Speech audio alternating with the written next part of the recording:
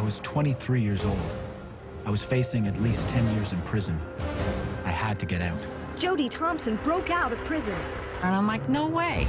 There's no way. It didn't take him long to do what he does best. Burglary, robbery, kidnapping. He is one of America's most wanted criminals. It's a puff of smoke. He got away. Evil genius.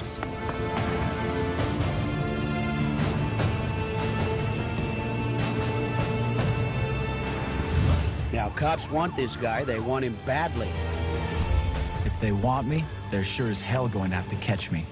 They're ready to kick the door in, and I do not want to get killed. No!